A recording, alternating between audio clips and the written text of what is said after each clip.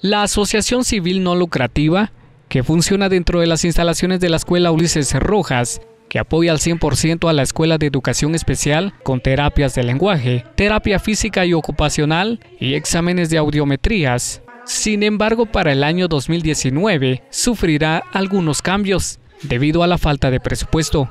Es por ello que representantes de la asociación viajaron a la ciudad de Guatemala para solicitar apoyo, donde algunos diputados del departamento de San Marcos mencionaron que no.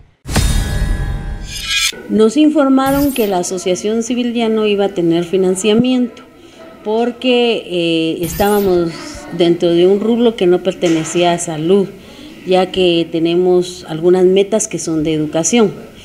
Entonces tuvimos que viajar a la ciudad de Guatemala y también a pedir apoyo de los diputados de nuestro departamento algunos nos apoyaron y también a personas en Guatemala que nos apoyaron. Entonces tuvimos que reestructurar y hacer una nueva, nueva visión de lo que va a ser nuestro, nuestro servicio el otro año. Eh, ya que ahora en metas de educación especial ya no las vamos a tomar porque ya está la escuela.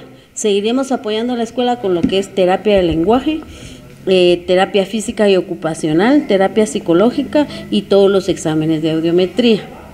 Eh, y seguiremos apoyando a todas las personas, hacemos un llamado a todas las personas que necesiten estos servicios, que se aboquen a nosotros estos 15 días que quedan de noviembre para ser evaluados y así el otro año ya entrar a, a las terapias. Más vamos a atender con terapia de lenguaje, exámenes de audiometría y la terapia física.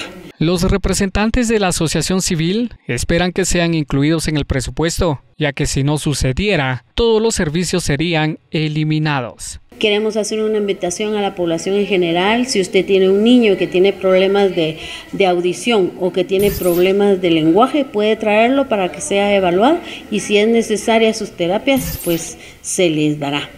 Eh, esperamos en Dios que ya hicimos todo lo que nos pidieron, que estemos dentro del presupuesto del otro año y si no, pues todo este servicio sería, sería quitado, pues ya no tendríamos nosotros el financiamiento.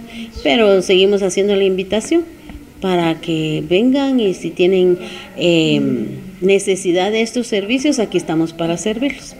ACAE, a nivel del año contó con la presencia de un aproximado de 700 personas provenientes de varios municipios y se dieron 74.813 terapias en todas las áreas. Reporta Josué Ardiano.